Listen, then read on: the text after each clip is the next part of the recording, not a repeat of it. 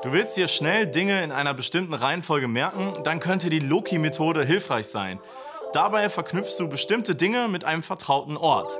Daher leitet sich auch der Name ab. Locus bedeutet im Lateinischen nämlich Ort oder Stelle.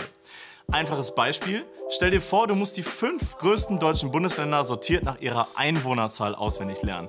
Nordrhein-Westfalen, Bayern, Baden-Württemberg, Niedersachsen und Hessen.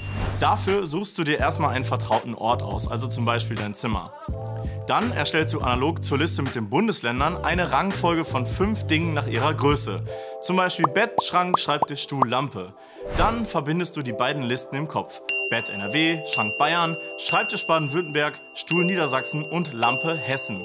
Und wenn du die Reihenfolge der Bundesländer dann abrufen musst, gehst du im Kopf dein Zimmer ab. Vom größten Gegenstand bis zum kleinsten.